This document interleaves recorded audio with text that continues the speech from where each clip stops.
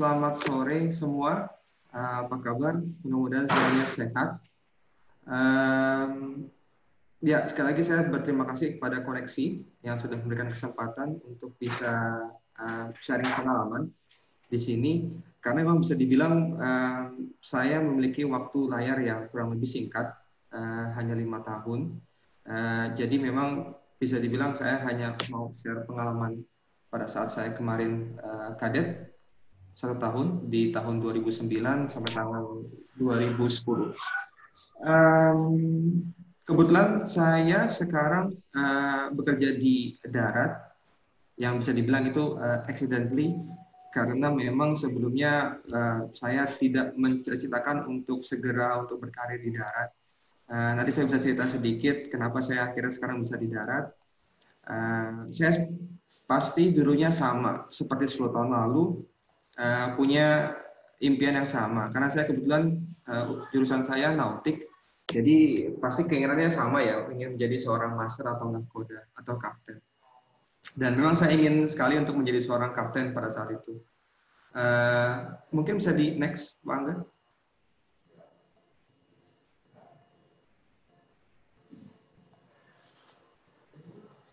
Jadi sedikit cerita perihal uh, tentang saya. Jadi uh, saya Angga Lutfi Adrianto, umur saya 30 tahun dan uh, ini memang fotonya baru, jadi kelihatan sangat tua sekali di sini.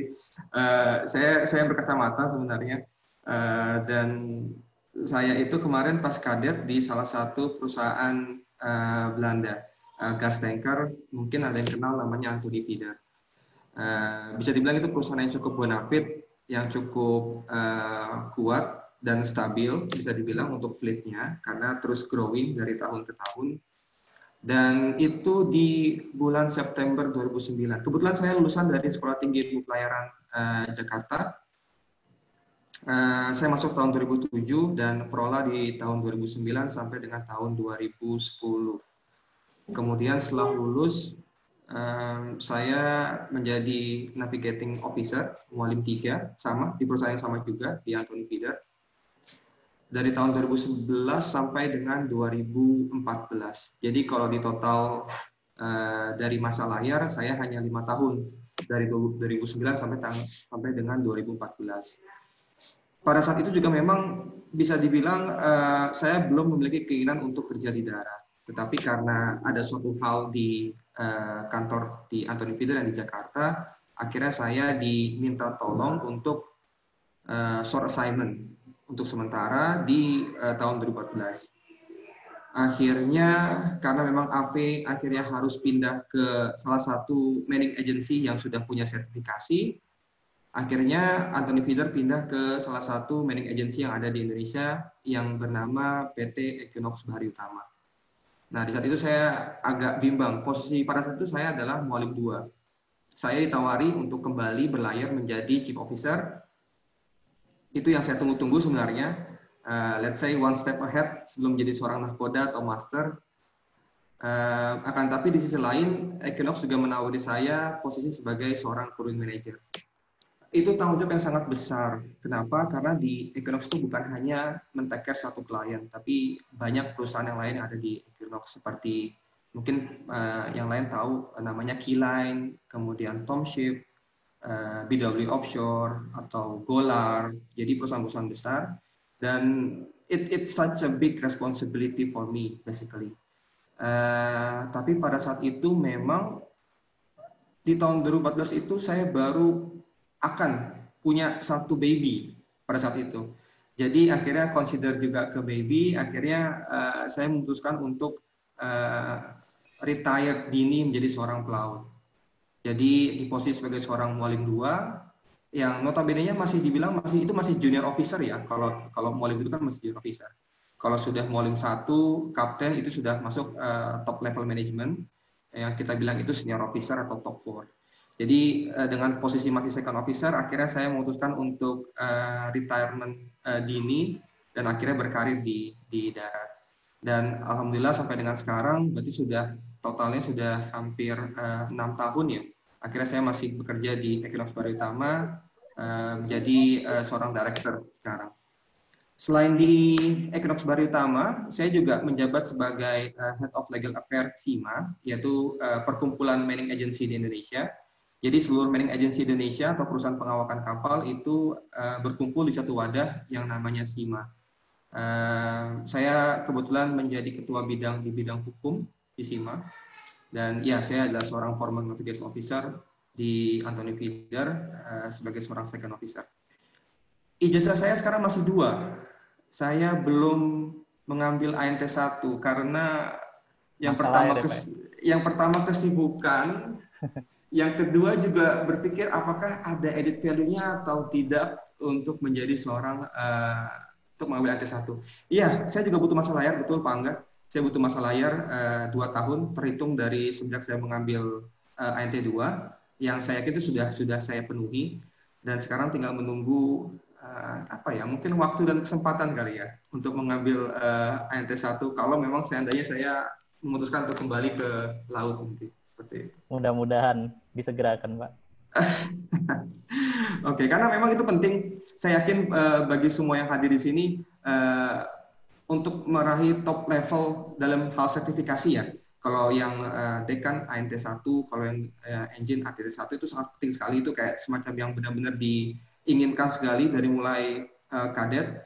Uh, jadi saya sarankan untuk bagi yang memang ingin mencapai top level ya silakan, uh, jangan ditunggu-tunggu atau tahan-tahan.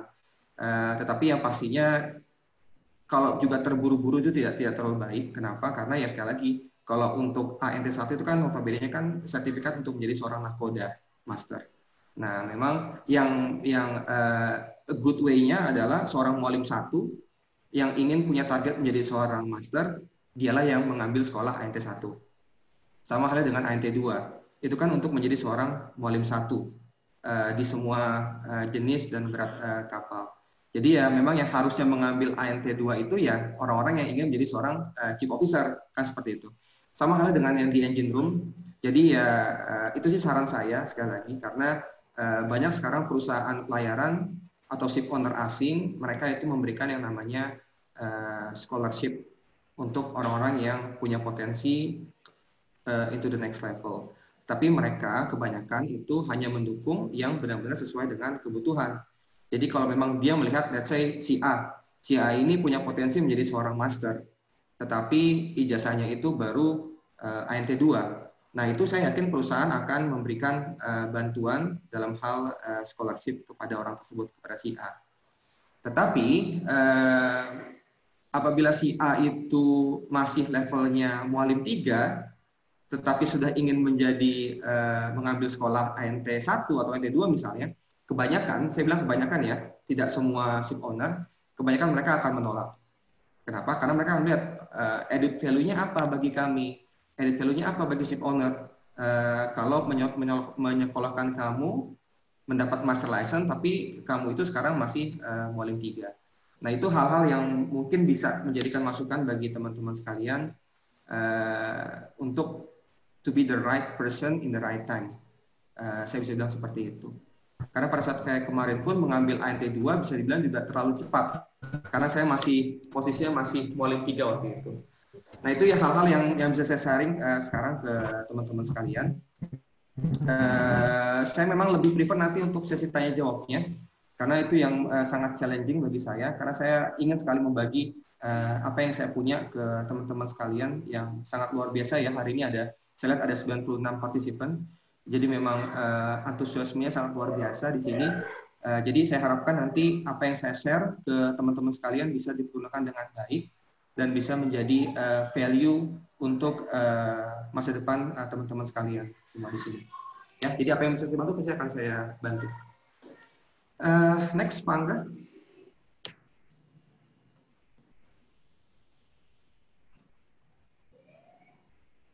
Oke, okay, maritime industry. Nah, maritime industry itu memang bisa dibilang skopnya besar ya.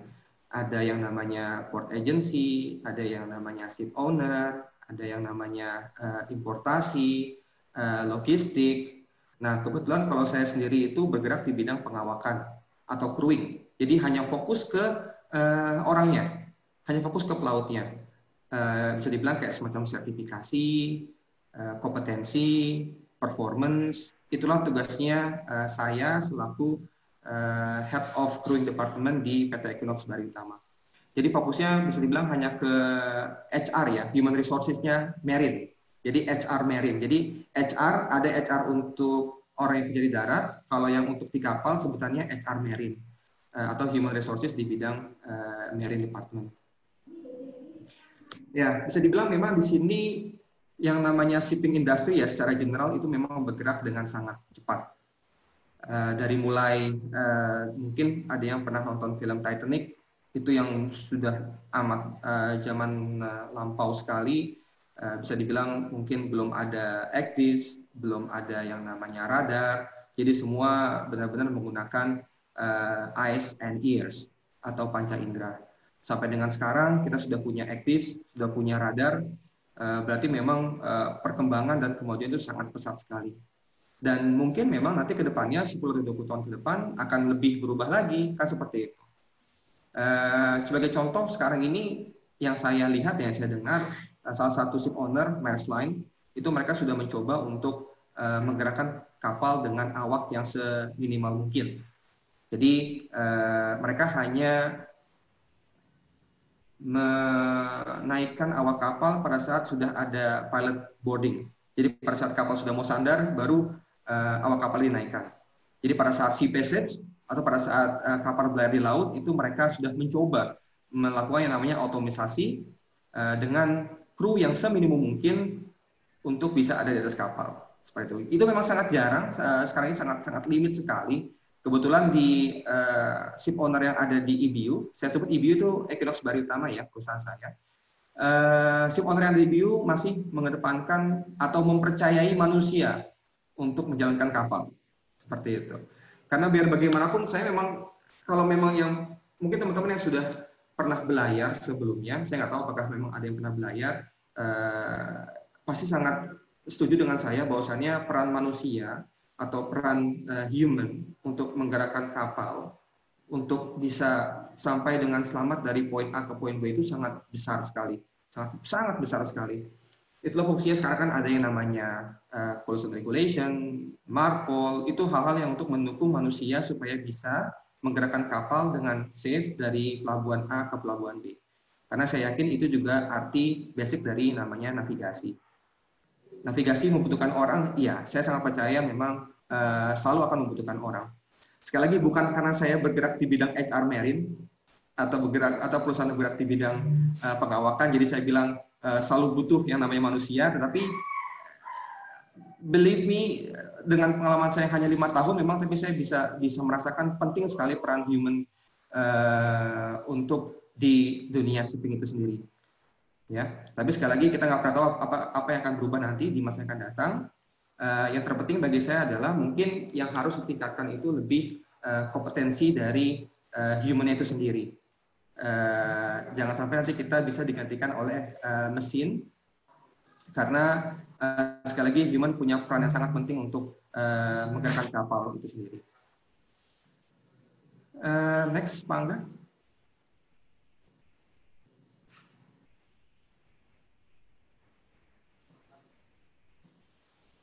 Oke, okay, jadi uh, kenapa itu gerak dengan sangat cepat sekali? Ada ada empat faktor kurang lebih. Yang pertama itu faktor climate change. Kemudian yang tadi saya bilang automation, uh, Internet of Things (IoT), kemudian uncertainty, dan juga competition. Mungkin sekarang kan juga kalian sudah uh, kita merasakan bersama-sama kita hidup di dunia yang benar-benar uh, strange, bisa dibilang aneh. Uh, itu masuk ke poin nomor tiga uncertainty, di mana sekarang uh, sangat sulit untuk melakukan crew change. Uh, banyak sekali restriction di setiap uh, negara untuk melakukan crew change. Nah itu kan uh, karena sekali lagi mereka menganggap manusia itu punya peran yang sangat vital untuk menjalankan kapal. Itulah kenapa penting supaya orang-orang di kapal itu mereka tidak fatik. Fatik itu artinya uh, kelelahan yang bisa nanti menimbulkan kecelakaan, accident. Nah, misalnya seorang uh, officer atau perwira punya kontrak 10 minggu di kapal. Mungkin karena kondisi COVID sekarang, mereka tidak bisa crew dan harus, let's say, extend kontraknya sampai dengan dua kali lipat misalnya. 20 minggu. Jadi awalnya seseorang itu punya mindset untuk stay di kapal 10 minggu, dan akhirnya sekarang menambah menjadi 10 minggu lagi, uh, itu kan lebih masuk ke uh, faktor psikis atau psikologisnya seseorang. Dan itu memang yang fakta. Itu fakta yang kita rasakan sekarang. Uh, orang mulai komplain, orang mulai menanyakan kapan saya bisa diganti, kapan saya bisa crew change, seperti itu. Jadi mungkin ini juga akan masuk ke faktor uncertainty yang juga mungkin nanti akan dipertimbangkan nanti ke depannya pada saat untuk uh, bagaimana proses pengawakan untuk masa yang akan datang, 10 atau 20 tahun yang akan datang. Uh, semua orang belajar pastinya dengan kondisi yang sekarang, saya yakin. Uh, dan dari situlah kenapa akhirnya uh, maritime industri itu akan bergerak dengan dengan very fast seperti itu. Uh, jadi COVID ini sebenarnya hanya satu faktor yang bisa uh, untuk perubahan itu menjadi lebih uh, cepat nanti.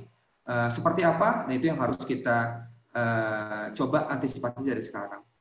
Dan yang terakhir juga pasti akan adanya competition atau kompetisi pastinya karena sekali lagi untuk perlu diketahui uh, pengawakan atau crewing budget, crew itu crew ya, crew budget itu dari mulai penggajian, kemudian uh, transport, sign on sign off, Eh, misalnya transport kalian untuk eh, bergerak dari eh, port A ke port B untuk sign on kan membutuhkan transport cost tuh.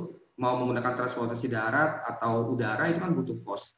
Kemudian insurance kemudian pension nah itu masuk ke dalam komponen uh, crewing cost dari total 100% budget satu kapal itu crew cost itu punya uh, punya bagian itu sangat besar sekali sekitar 70 persen 60 sampai 70 persen. Jadi lebih dari uh, apa namanya operational cost untuk satu kapal itu 60 persennya atau 70 persen itu dari biaya manusia.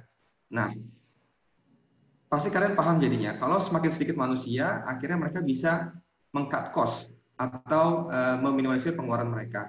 Nah, itulah yang akan mungkin menjadi faktor nanti ke depannya uh, pengurangan awak kapal karena memang lebih hemat, lebih efisien, Nah, tapi sekali kita harus lihat dari segi safety-nya itu seperti apa, kan seperti itu. Nah, uh, itu perlu diketahui. Jadi kalian juga paham uh, kalau crewing cost itu punya porsi yang sangat besar, sekitar 60 sampai 70 persen dari total OPEX atau operational expenses-nya satu kapal. Jadi memang lumayan besar manusia itu. Jadi bukan hanya perannya yang sangat penting, tapi juga cost-nya itu juga mereka juga sangat besar sekali untuk bisa mempekerjakan laut berada di atas kapal seperti itu. Oke, okay, Pak Angga bisa next. Make you compete more than before. Oke, okay. yang ada di depan kita ini atau let's say uh, bukan layarnya, tapi di masa akan datang itu yang akan kita hadapi adalah let's say bisa dibilang kemajuan teknologi. Itu yang nggak bisa kita hindari. Uh, yang tadi saya bilang ya, IoT uh, digitalization itu yang tidak bisa kita hindari. Uh, sama sekali nggak bisa kita hindari. Itulah penting bagaimana caranya supaya kita bisa uh, mungkin nanti ke depannya bukan menjadi sebagai seorang kompetensi first, tapi kompetensi first yang bisa menggerakkan kapal itu sendiri, misalnya secara uh, remote atau control di, di, di shore base misalnya. Itu kan hal yang mungkin nanti akan dieksplor nanti ke depannya, seperti itu. Nah, di sini ada ada data seafarer output yang diambil dari tahun 2014 sampai dengan 2015 uh, eh, dari buku statistik perhubungan. Di sini memang bisa dilihat di yang warna hitam sudah jelas kalau jumlah new delivery of ship atau jumlah kapal baru itu tidak sebanding dengan uh, jumlah angka kelulusan ya, baik itu ANT 4 atau ANT atau ATT 3. Nah, uh, mungkin kalau untuk memang secara generalnya bisa dibilang nanti kan akan ada timbul pertanyaan. Kemudian mereka akan ke mana? Kan seperti itu. Uh, mereka yang baru lulus itu akan ke mana? Sedangkan jumlah kapalnya itu tidak sebanding dengan uh, jumlah pelaut yang di uh, yang dilahirkan setiap tahunnya seperti itu. Nanti kita akan bahas di next uh, slide-nya. Pak Angga bisa di next?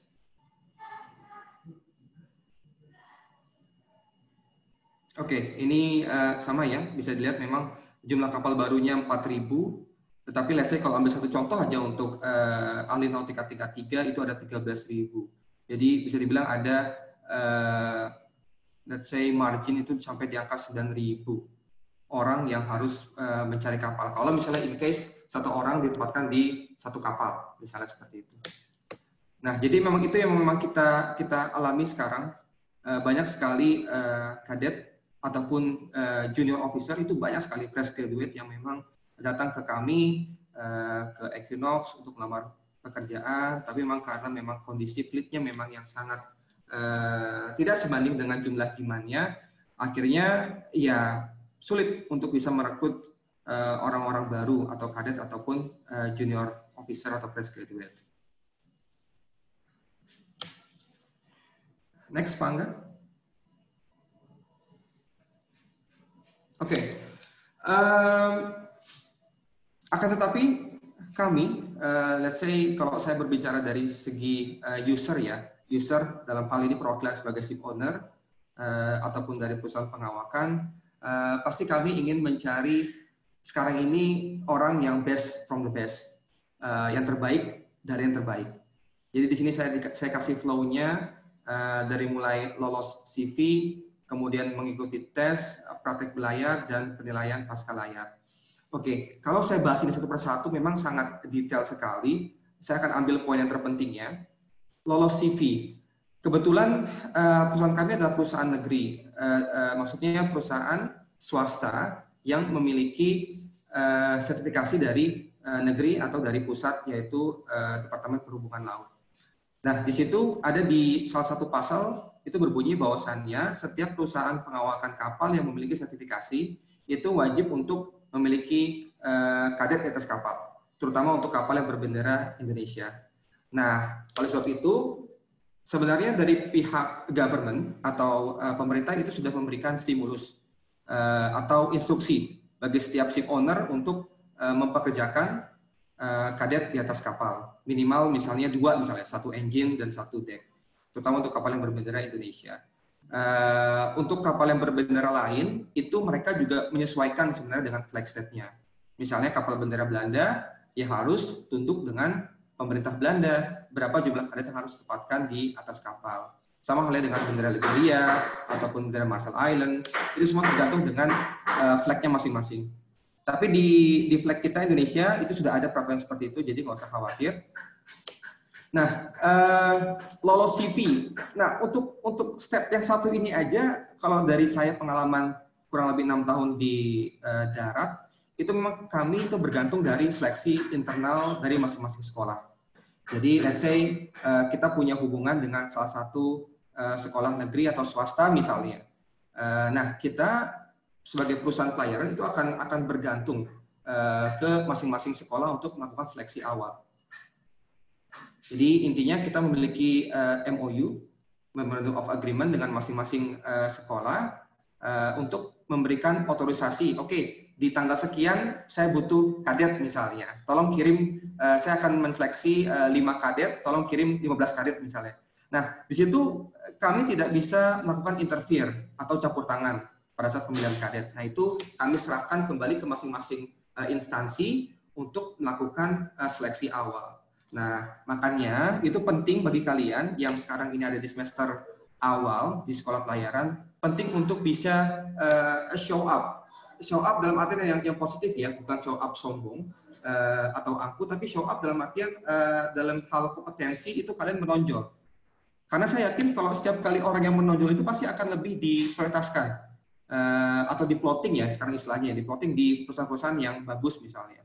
Tapi kalau kalian itu uh, let's say hanya uh, average atau atau bisa dibilang juga poor itu akan sulit uh, bagi masing-masing uh, instansi untuk bisa melakukan seleksi awal. Nah kami sebagai player itu kami tidak bisa interfere. Kita nggak bisa interfere atau mencampur tangan uh, urusan internal di masing-masing uh, instansi uh, sekolah, baik itu swasta maupun negeri. Nah jadi untuk yang poin pertama ini penting bagi kalian untuk bisa uh, show ke sekolah kalian kalau kalian itu adalah uh, kadet yang punya potensi yang mungkin beda dari yang lain. Itu penting sekarang ini.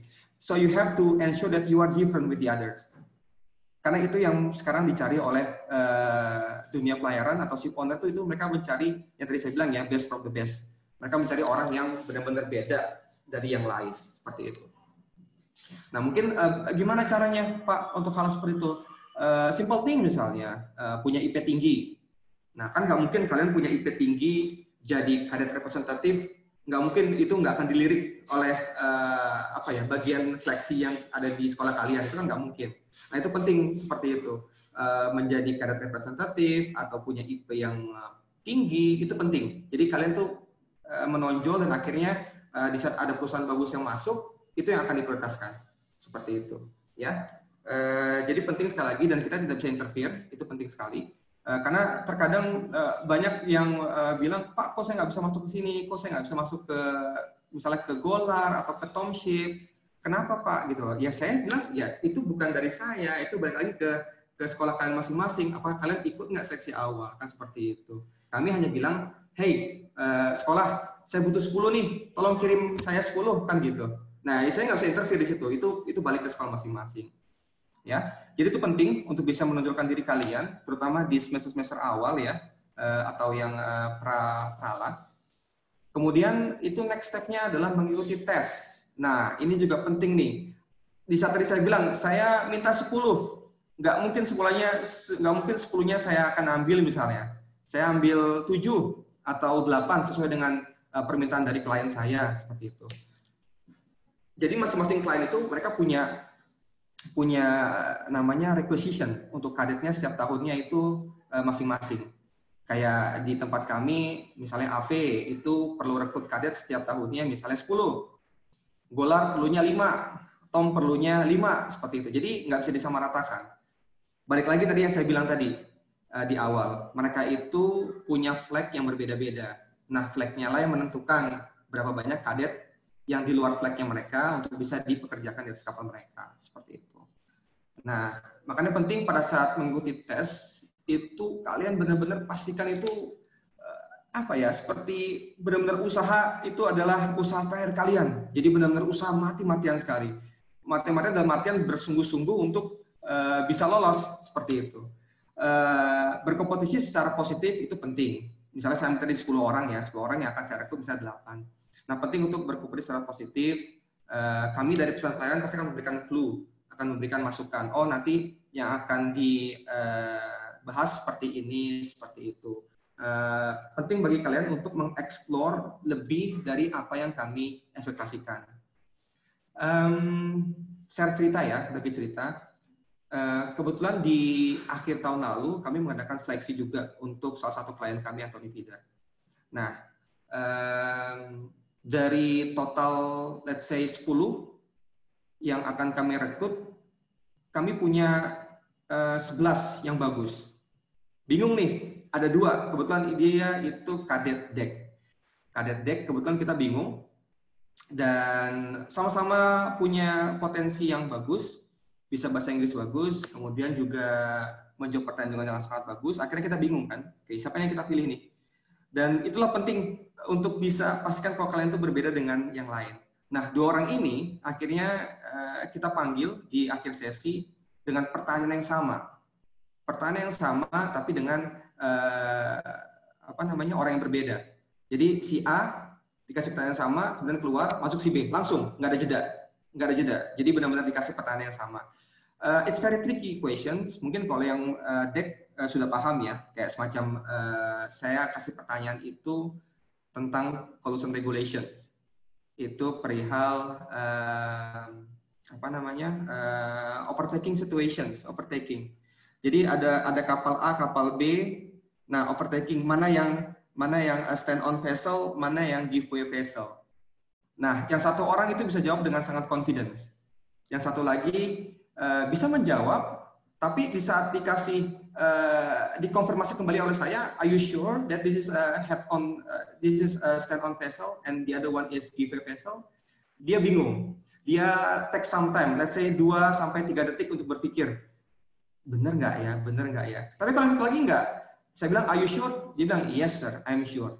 Jadi tanpa ada keraguan bagi dia. Nah akhirnya dan memang benar, uh, dia memang yakin dan dan memang benar. Dan akhirnya yang dipilih ya orang yang yakin itu seperti itu. Nah, jadi hal-hal seperti itu itu contoh ya. Sama juga dengan yang engine department sama saya yakin juga uh, kalau saya di satu yang sama, di, di situasi yang sama, saya juga akan memberikan pertanyaan yang sama dengan dua orang yang berbeda. Uh, jadi intinya adalah we need someone different.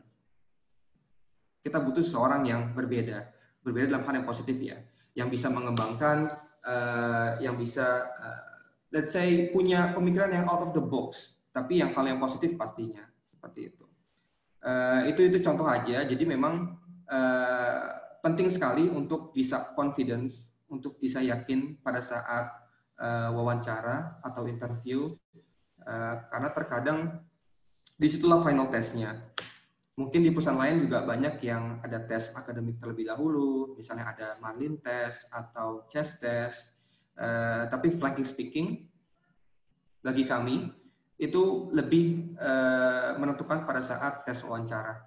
Karena terkadang terkadang ya saya nggak nggak mengeneralisir semua terkadang hasil malin atau tes itu tidak sesuai dengan uh, kemampuan berbahasa uh, seseorang. Uh, kita pasti akan melakukan malin atau chest test terlebih dahulu untuk uh, pengukuran awal tetapi kalau memang dia itu bagus pada saat kita ngobrol uh, saya sering bilang ke bagian rekrutmen untuk coba tes orang ini uh, untuk uh, diwawancara untuk technical knowledge-nya seperti itu jadi sekali lagi jangan berkecil hati kalau yang punya malin atau CSS-nya nilainya rendah, tapi kalau kalian yakin kalian bisa berkomunikasi dengan lancar, dengan fasih, baik ya dalam bahasa Inggris atau kemampuan berkomunikasi dengan sangat baik, uh, silakan untuk di, dicoba atau yakinkan usernya, yakinkan kami sebagai uh, ship owner atau uh, manning agency seperti itu. Ya. Mengikuti tes, kemudian praktek berlayar. Ah, ini yang ini yang lebih lebih lebih apa ya lebih high level lagi. Kenapa? Karena kalian akan berkompetisi bukan hanya dengan uh, satu bangsa tapi kalian berkompetisi dengan beraneka ragam bangsa. Uh, saya memang ambil contoh di perusahaan yang uh, top level. Uh, sering di kapal itu ditempatkan beraneka negara kadet. Misalnya Indonesia campur dengan kadet Belanda atau campur dengan kadet Ukraina. Nah itu memang penting untuk kita juga sekali lagi balik ke yang tadi level pertama untuk show off. Uh, show off sekali lagi ya yang dalam hal yang positif ya untuk bisa membuktikan bahwasannya hey uh, Cap hey chief engineer I'm better loh compare with the others kan gitu. Buktinya apa? Nah itu yang kalian buktikan. Seperti itu. Um, tempo hari itu yang saya yang saya uh, praktekkan pada saat saya belayar saya mencoba untuk menonjolkan diri saya uh, untuk memberitahu mereka kalau saya ini berbeda dengan yang lain. Saya ini berbeda dengan karet-karet yang sebelumnya. Saya sering bertanya ke officer yang sudah back to back di situ. Uh, gimana sih karet yang kemarin itu seperti apa sih performanya? Hanya untuk un, untuk saya tahu jadi level saya itu di mana uh, compare dengan yang lalu misalnya. Nah, jadi singkat cerita kemarin saya join September 2009 uh, dan saya bisa menyelesaikan TRB saya itu di Februari 2010. Jadi saya hanya butuh waktu uh, September, Oktober, November, Desember, jadi Februari, lima bulan. Lima bulan untuk bisa menyelesaikan TRB. Full, komplit TRB saya selesaikan. Jadi memang benar-benar bisa bilang kerjanya kerja yang mulik, capek banget. Apalagi di saat itu kan memang uh, masih awal-awal belayar ya. Masih sering kerja di deck, uh, bantu bosun, kemudian sisik, apa eh, mabuk laut. Ah itu luar biasa itu luar biasa sekali ininya apa uh, tantangannya. Tapi alhamdulillah karena memang punya tekad yang besar untuk segera menyelesaikan TRB uh, eh, kenapa? Karena saya ingin cepat-cepat fokus untuk bisa mengerjakan kerjaan mualim tiga. Itu yang yang yang target saya yang di awal. Jadi setelah saya kerjakan TRB selesai saya nggak ada beban dengan sekolah saya langsung bisa fokus untuk membantu kerjaan mualim tiga yaitu uh, untuk di life saving appliances ya atau fire fighting itu beda-beda sekali lagi di kapal. Setelah itu setelah selesai akhirnya saya kasih tunjuk ke mentor saya yaitu chief officer kebetulan kalau untuk deck dan dia happy. Dia bilang uh, you did a extraordinary job. Uh, bahwasannya ya masih bisa membantu mereka tapi saya juga masih bisa menyelesaikan uh, tugas saya dari dari sekolah. Seperti itu dengan waktu yang hanya lima bulan. Nah uh, sisa bulan saya itu saya fokus untuk membantu uh, officer yang lain dari mulai uh, pekerjaan uh, mualim 3, mualim 2, kemudian event mualim 1, pengerjaan passage plan atau rancangan pelayaran atau rancangan muatan itu saya coba untuk bantu mereka, asis mereka seperti itu. Jadi mereka juga merasa dibantu gitu loh. Kalau anak ini ini punya value bagi bagi perusahaan ini. Jadi bukan hanya kadet yang datang hanya untuk numpang, uh, numpang ya, numpang untuk uh, diberikan pembelajaran, tapi juga punya value, punya apa ya, punya uh, sesuatu yang bisa dipertahankan oleh perusahaan ini. Karena nanti bagaimanapun nanti uh, hasilnya ada di warna merah ini, penilaian pasca layar. Nah, apa yang akan kalian dapatkan nanti di situ? Uh, kalau kita bilang itu namanya uh, assessment atau evaluation report, appraisal report. Itu penting. Penting sekali bagi kalian itu mendapatkan appraisal report yang baik. Karena kalau kalian bisa menunjukkan selama kalian 365 hari itu punya value bagi perusahaan itu, nggak perusahaan deh, bagi kapal itu, bagi kapal itu kalian punya value, saya yakin kalian juga nanti akan di uh, consider dengan sangat uh, keras untuk bisa kembali ke kapal menjadi seorang uh, perwira seperti itu. Nah, jadi penting bagi kalian untuk sekali lagi ya to be different with the others. Uh, apa yang bisa kalian kasih ke perusahaan, ke kapal itu penting untuk kalian tunjukkan pada saat kalian uh, berlayar di atas kapal. What is your value uh, for the ships? What is your value for the company? Bottom line, what is the value for other people on board the ship.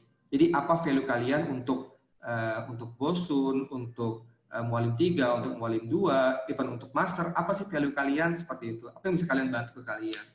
Karena sekali lagi yang namanya kadet itu di kapal itu tidak memiliki responsibility.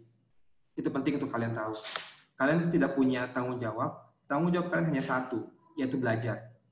Belajar, mengerjakan TRB, itu ada tanggung jawabnya utama dari seorang apprentice atau kadet, mau itu deck, mau itu engine. Nah, saya sudah mengerjakan tanggung jawab saya uh, di lima bulan pertama saya. Setelah itu, uh, on the next seven months, ya saya hanya assist. Assist as necessary sebenarnya, assist as order. Uh, bisa bilang seperti itu. Saya mengassist mereka, uh, dan akhirnya mereka juga senang, dan akhirnya saya diberikan nilai yang bagus oleh mereka. Untuknya buat siapa? buat saya kan jadinya kan bukan untuk siapa pun gitu Nah makanya penting untuk uh, do something different, ensure that you have value when you are on board as a cadet, and then I can guarantee you that you are going to have a very a very positive uh, appraisal report from your mentor. Ya itu penting. Um, next, Pangga.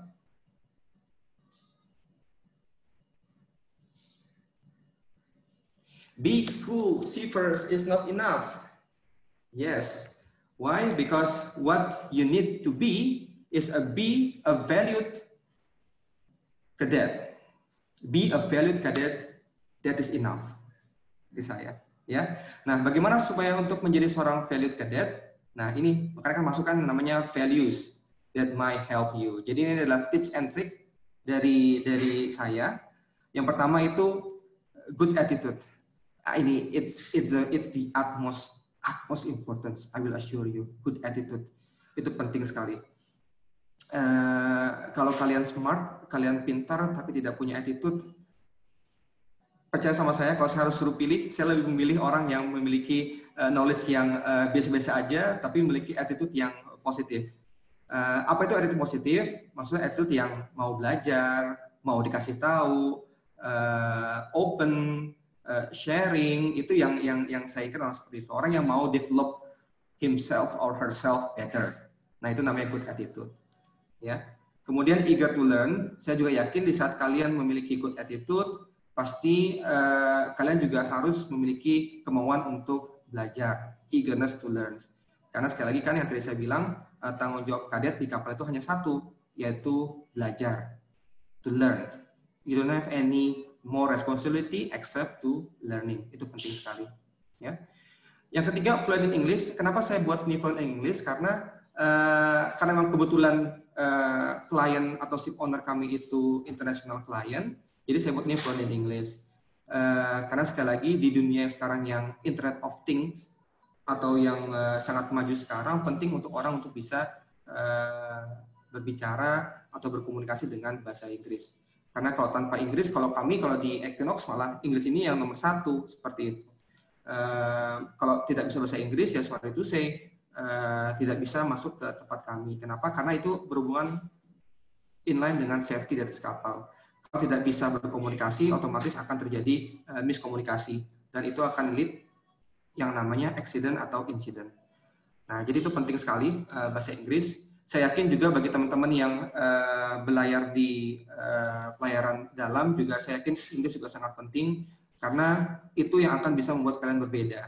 Value-nya itu yang akan di, di apa namanya uh, diminta oleh atau demand dari ship owner-nya. Ya, karena penting bagi kalian untuk memastikan kalian punya satu tempat, satu slot yang pasti kalian dapatkan setelah kalian lulus. Itu penting. Itu penting. Itu bagi saya itu sangat penting sekali. Karena percuma kalau hanya uh, do a great job as a cadet tapi kalian tidak tidak mensecure posisi kalian menjadi seorang uh, junior officer atau junior engineer atau uh, mualim tiga atau masinis tiga. Makanya itu penting sekali untuk guaranteed one position. Bagaimana cara guaranteed one position? Ya tadi saya bilang uh, you have to show that you are having a value uh, for the company itu penting ya dan kemudian uh, adaptable with different culture ini juga penting uh, terutama bagi eh, teman-teman uh, yang belayar dengan uh, mixed nationality. Sebenarnya bukan hanya mixed nationality ya. Uh, orang per orang itu pasti punya uh, pemikiran yang berbeda-beda. Even di Indonesia kan juga banyak uh, suku, banyak uh, adat istiadat. Jadi juga penting juga walaupun kapalnya itu lain lokal, saya yakin juga penting untuk bisa beradaptasi dengan lingkungan sekitar di kapal itu apa sih? Let's say uh, hanya 18 orang atau 15 orang misalnya. Ya yang kalian ketemu selama satu hari itu hanya orang-orang itu aja, hanya 15 orang itu aja. Nah makanya penting bagi kita untuk bisa beradaptasi secepat mungkin pada saat kalian di atas kapal. Ya, when you are first time on board, uh, it's very important that you are able to socialize as soon as possible with the other people on board. It's very important. Ya, uh, kalau ditanya, Pak, apa sih yang harus dilakukan pertama kali nyampe di kapal? Di kapal itu pas kalian pertama kali menginjak kaki di kapal, itu ketemu uh, langsung ke master atau captain. Kasih kalian punya sertifikat ke captain, dia akan bilang, oke, okay, welcome on board. Uh, dan dari situ kalian minta arahan dari kapten. Oke, okay, cap, so what should the next thing I need to do, misalnya.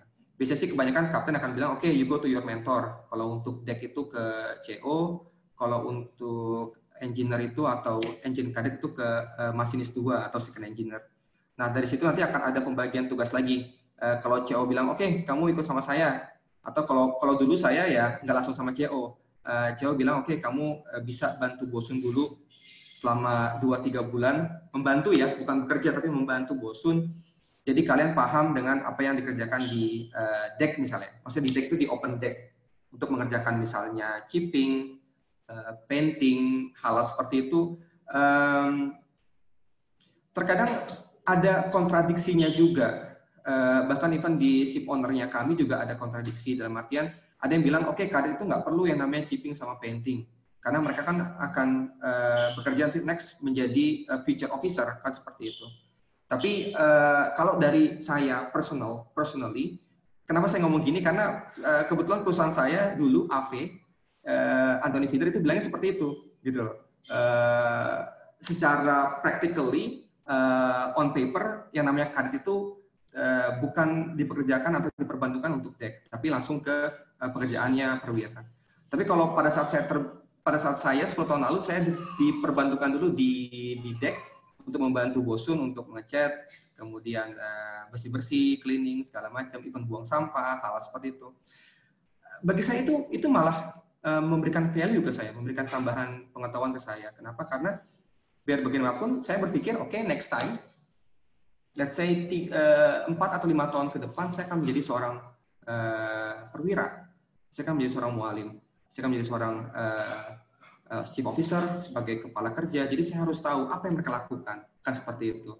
Bukannya mau uh, apa ya? Uh, memata-matai atau spying bukan bukan tapi lebih lebih tepatnya itu kita paham apa yang mereka lakukan kita paham apa load mereka dan di saat mereka itu bilang eh, chief saya ada kesulitan nih kita paham apa yang kita bantu seperti itu jadi penting sebenarnya uh, untuk at mengetahui terlebih dahulu apa sih yang dikerjakan oleh teman-teman uh, rating atau kru di kapal ABK tuh kerjanya apa sih uh, chipping itu gimana sih caranya kan gitu uh, apa sih komponen-komponen uh, chat itu apa aja ada namanya primer, kemudian top code. Nah, itu yang harus diketahui terlebih dahulu. Nah, bagaimana cara kita tahunya? Ya, yang pasti penting untuk membaca. Ada namanya manual itu penting. Tapi juga harus dikombinasikan dengan praktek. Nah, makanya penting kalau yang namanya kadit itu uh, dia baca dulu manualnya, baca manual, setelah itu baru mengerjakan sesuatu. Nah, itu penting. Ya, kayak saya yakin kalau untuk uh, teknik mengecat segala macam juga ada, ada bukunya, ada panduannya. Uh, misalnya dari makernya, misalnya dari Jotun atau dari uh, Hempel misalnya, itu kan ada ada panduannya dari mereka. Nah, itu yang dibaca. Nah, jadi kita punya uh, teorinya, punya ilmunya, dan kita praktekkan. Apa yang membuat kita beda dengan rating atau dengan uh, ABK misalnya? Rating itu mereka bekerja itu kebanyakan mereka menggunakan experience atau pengalaman mereka itu nggak salah, it's fine, it's, it's fine, itu nggak salah. Tetapi yang membuat kita beda dengan mereka adalah kita bekerja itu pertama berdasarkan panduan atau manual, jadi ada teorinya, setelah itu baru kita implementasi.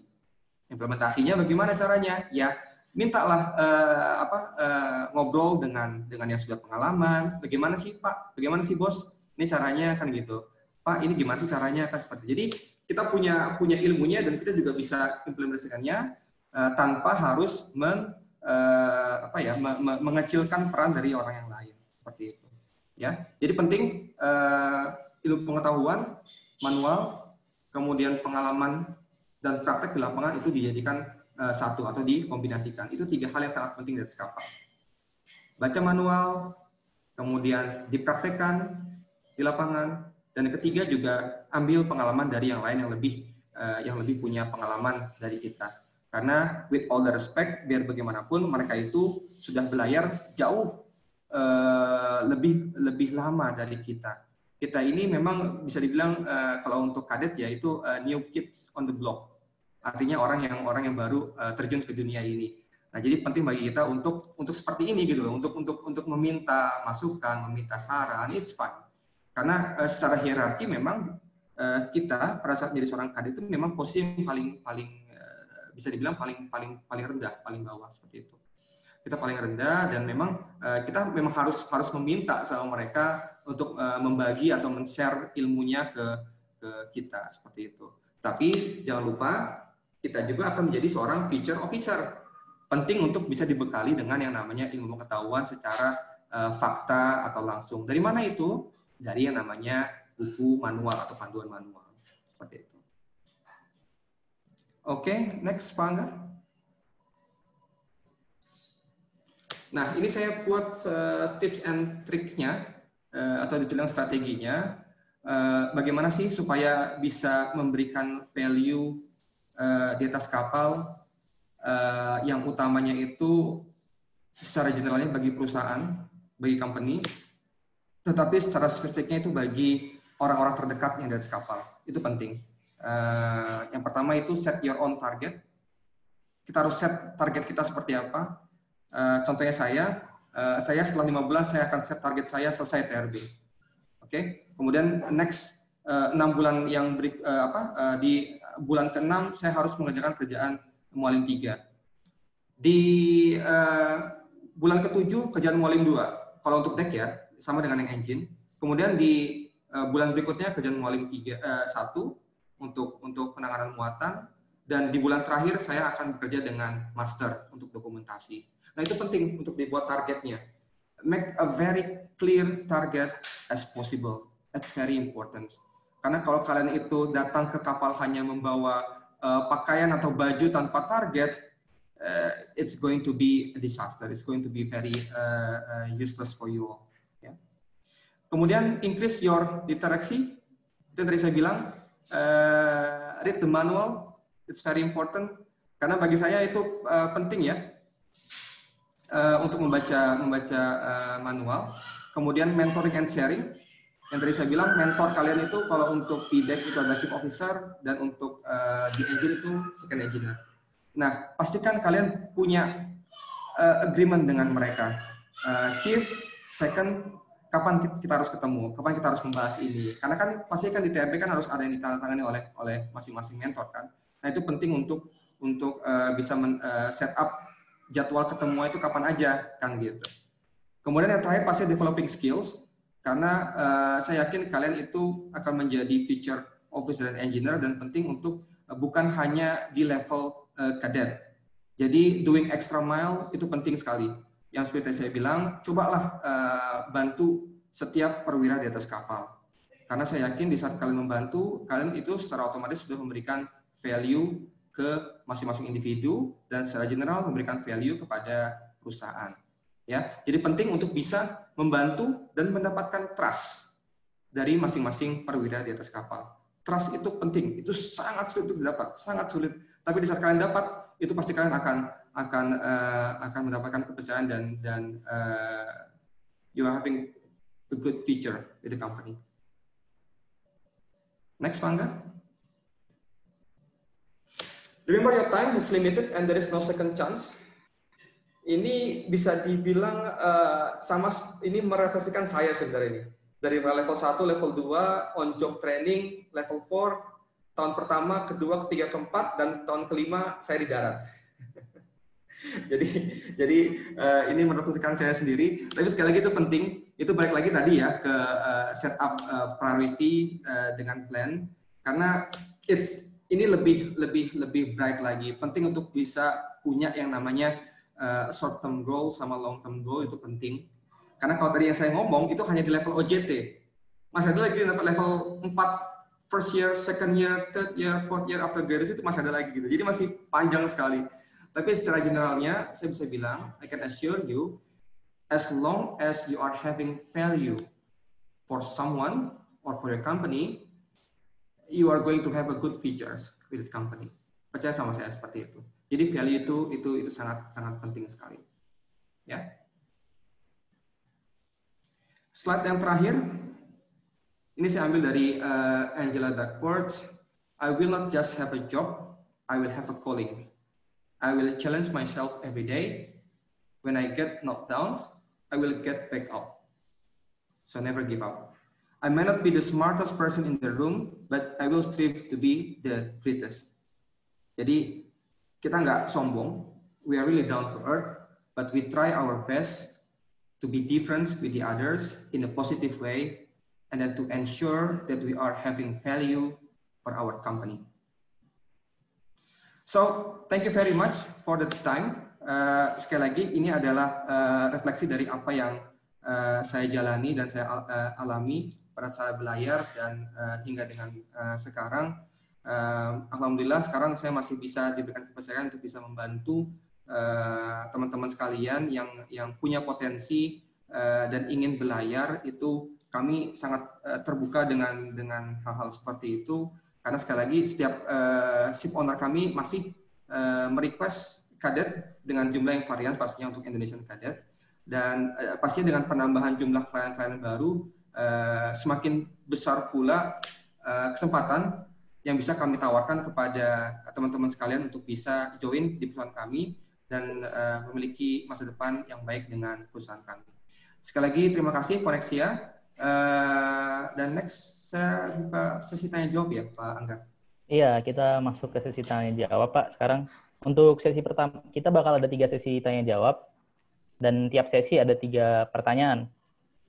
Baik teman-teman silakan untuk sesi pertama bisa langsung Oke, ada Rizal Kurnia dan Aditya Prakasa, kemudian Hadid.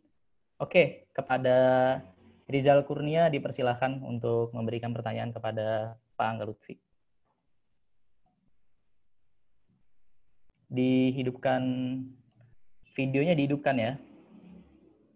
Dan open mic juga.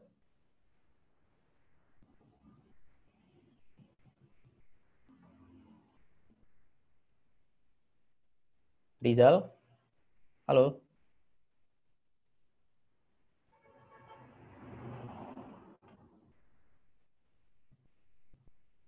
Kepada hostnya mungkin bisa dibuka mic-nya si Rizal, Rizal Kurnia.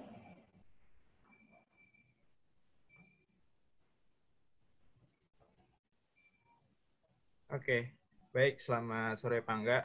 Nama saya Rizal Kurnia, izin bertanya. Jadi, saya mendengar beberapa kasus di mana kadet itu mungkin baru 4 sampai 5 bulan di berlayar, lalu diturunkan sebelum masa layarnya.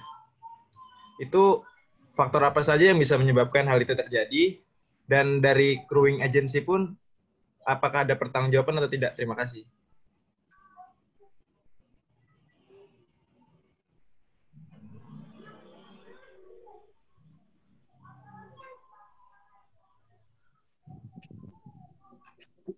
Halo. Ya, selamat sore, Pak Pangga. Saya izin bertanya.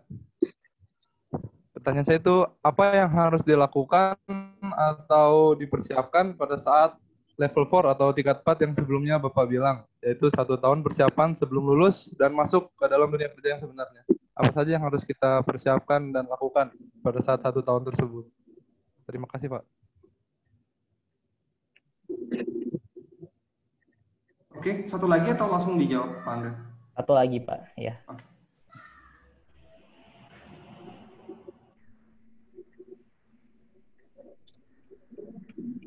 Saudara Hadid, gimana? Selamat sore Pak Angga, terima kasih atas waktunya sore hari ini. Izin bertanya, saya Hadid dari Akdani Semarang. Tadi Bapak membahas tentang di perusahaan Bapak perlu adanya sebuah MOU. Apakah ada solusi lain bagi kami kadet kadet yang notabene belum ada MOU dengan perusahaan mana pun ataukah ada tips dan trik lain untuk kami bisa mendapatkan tempat praktek laut. Terima kasih, selamat sore.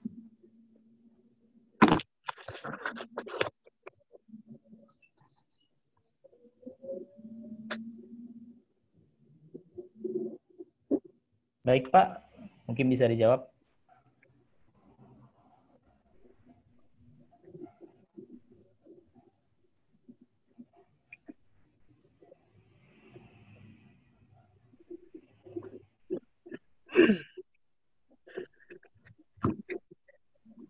Oke. Pak Angga, kamu mood saya gimana saya bisa jawab? Iya, kebetulan yang hostnya ada rekan saya. Oh, Oke, oke. Ini lagi saya Uh, koordinasikan. It's okay. Dari pertanyaan pertama tadi em, perihal kadet yang diturunkan ya. Eh, saya harus tahu dulu itu dengan dengan jelas dengan detail apa eh, permasalahannya, kenapa dia bisa diturunkan seperti itu. Apakah dia itu misconduct atau memang eh, kapalnya dijual atau seperti apa. Jadi eh, kalau hanya informasi yang eh, very general, saya sangat sulit untuk menjustifikasi. Tapi yang perlu saya tekankan, eh, kadet itu juga punya yang namanya kontrak belayar. Nah, kontrak belayar itu juga dilindungi oleh yang namanya union dan juga di eh, acknowledge atau di endorse oleh eh, perhubungan laut eh, CQ eh, Dirjen eh, Perla eh, pengawakan. Nah, jadi sekali lagi pasti itu akan akan ter- terlindungi eh, hak-haknya seperti itu. Eh, tapi sekali lagi kan kalian paham kalau yang namanya kadet itu mereka bukan menerima salary tapi lebih menerima yang namanya eh, pocket money eh, seperti itu. Eh, tetapi tetap eh, yang namanya insurance eh, PNI itu akan di cover. Karena kebetulan juga kita pernah punya satu eh, kasus eh, kadet yang mengalami kecelakaan eh, accident atas kapal. Eh, sekali lagi itu work related ya, work related bukan yang non work related. Akhirnya kita sebagai uh, perusahaan pengawakan uh, on behalf oleh ship owner kami itu kita ditugaskan untuk uh, mengatur uh, pemulangan uh, yang bersangkutan gitu loh. Dari mulai dia dirawat di uh, Swedia untuk melakukan operasi uh, atas kecelakaannya, kemudian juga proses uh, pemulangan itu uh, kita lakukan dengan dengan sangat baik.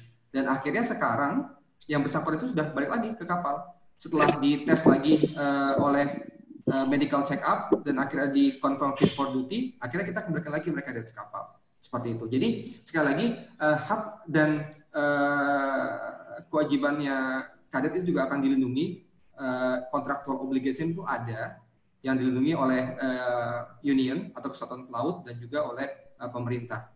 Jadi tidak usah khawatir. Uh, untuk pertanyaan tadi saya juga harus tahu secara detail ya uh, teman-teman itu sebenarnya masalahnya itu di mana kan seperti itu. Oke. Kemudian untuk tadi pertanyaan yang kedua dari Pak uh, Aditya Prakasa perihal tips and triknya untuk di uh, level 4. Sebenarnya kalau saya kemarin itu sebelum mencapai ke level 4 uh, di akhir OJT atau on job training itu kita harus bisa memastikan dulu nih kalau bisa ya kepada perusahaannya uh, gimana nih? Apakah saya nanti punya uh, kesempatan untuk kembali lagi belayar di tempat uh, Anda misalnya, jadi seorang uh, junior officer? Nah, akhirnya dia bilang, oke, okay, iya, uh, bisa nanti kamu pulang, pulang ke kantor, segera hubungi kantor, dan nanti kita akan uh, buat yang namanya uh, scholarship atau agreement. Nah, seperti yang yang mengikat misalnya, seperti itu. Nah, kalau udah ada seperti itu kan berarti kan sudah ada kayak semacam security.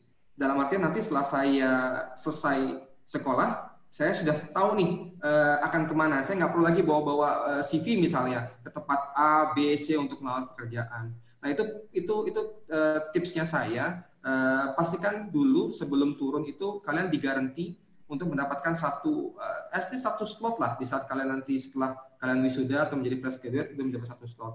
Memang itu tidak mudah, memang tidak mudah, tetapi akan mudah jika kalian pada saat kalian itu uh, setahun di kapal, kalian bisa menunjukkan value kalian untuk company. Nah, itu penting.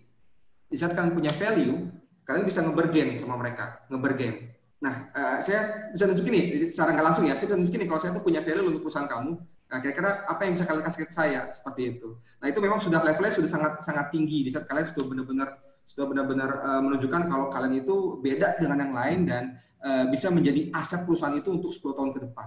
Nah makanya penting uh, untuk bisa pastikan punya value bagi perusahaan. Setelah sudah mendapatkan garansi, setelah sudah mendapatkan uh, kayak one one one slot uh, open graduation, Nah, ya pastikan di saat sudah tingkat 4, level 4 ya uh, play safe. Play safe dalam artian untuk yang tidak melakukan hal yang tidak di uh, apa diizinkan oleh sekolah, misalnya itu misalnya uh, harus uh, kondit, patuh dengan peraturan, itu harus dijalankan.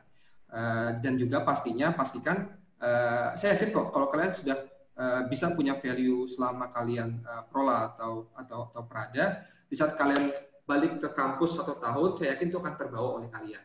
Kalian juga pasti akan mencoba untuk memberikan value uh, bagi sekolah kalian. Itu penting. Seperti apa memberikan value ke sekolah? yang menunjukkan yang terbaik, menjadi uh, sekolah yang yang yang benar, kemudian mendapatkan uh, kondit yang bagus, IP yang bagus, tidak ada hair, yang tidak menyulitkan nanti kalian pada saat kalian sudah uh, apa namanya PUKP atau ujian kalian pelaut seperti itu.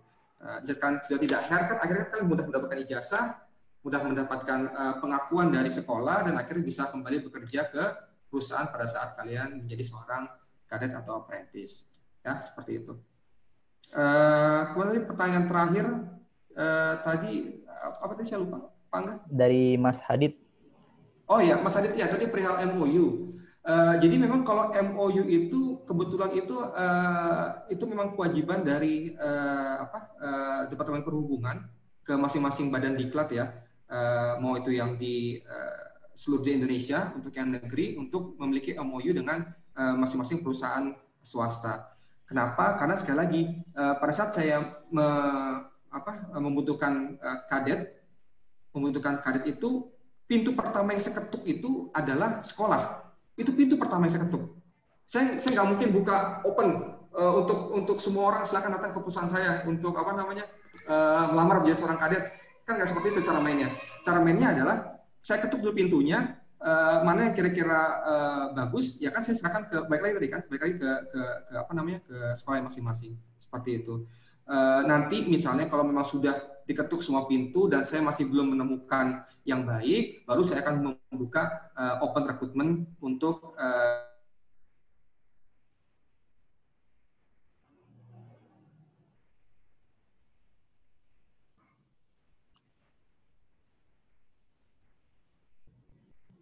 pintu pertamanya sekali lagi uh, kalau dari kami ya dari kami selaku perusahaan pelayan kami akan mengetuk pintu sekolah karena sekali lagi itu adalah peraturan itu peraturan dari dari government yang kedua juga lebih mudah bagi kami untuk uh, melakukan seleksi awal. Karena kan kita bilang sama sekolahnya, hey, you harus kasih kami yang bagus ya. Misalnya saya minta 10, you harus kasih kami yang 10 yang terbaik ya. Kalau nggak bagus nanti besok saya nggak akan situ lagi kan seperti itu.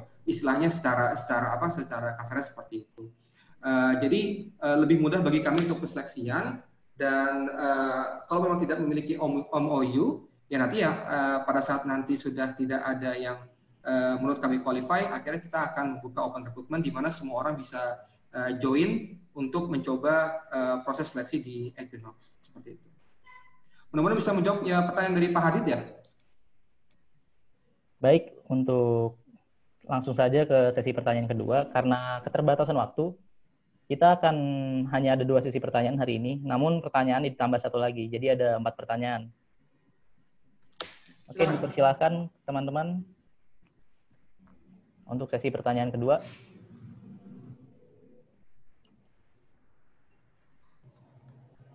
Bisa diketik namanya di chat room. Nanti akan saya open mic.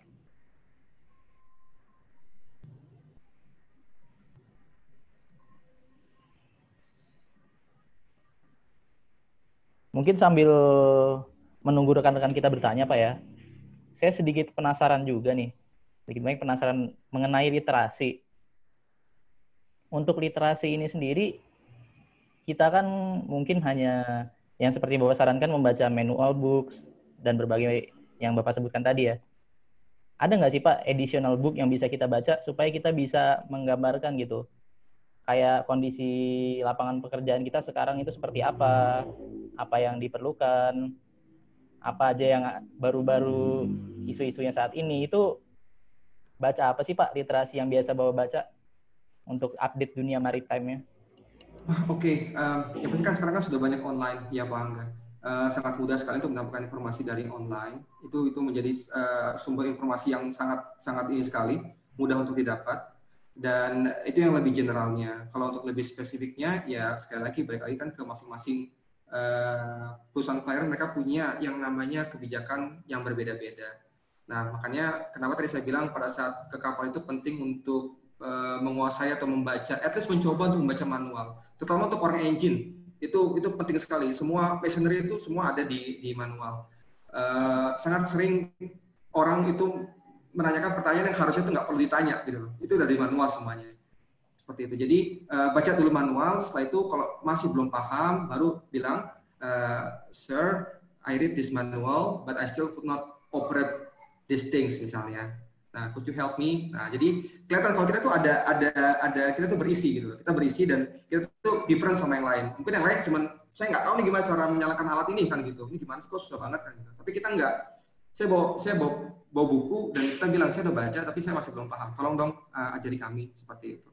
Jadi uh, sumbernya itu bisa dibaca dari internet itu itu itu bisa itu itu yang sangat uh, mudah free dan nextnya ya masing-masing ke ke apa namanya dari mulai uh, jenis perusahaan jenis kapalnya itu kan beda-beda. Pasti juga punya kayak kapal kontainer literaturnya dengan kapal gas itu berbeda. Jadi uh, balik lagi ke perusahaan masing-masing. Memang yang paling uh, mudah sekali itu ya pada saat di kapal itu dikumpulkan semua manualnya atau di mencoba untuk dipahami seperti itu atau dibaca dicoba untuk dibaca. Ya Pak, berarti ini salah satu pentingnya kita cari tahu ya Pak ya kalau bahasanya. Oh iya penting penting karena uh, percaya sama saya bukan hanya di uh, orang Indonesia ya tapi orang sana juga sama sih.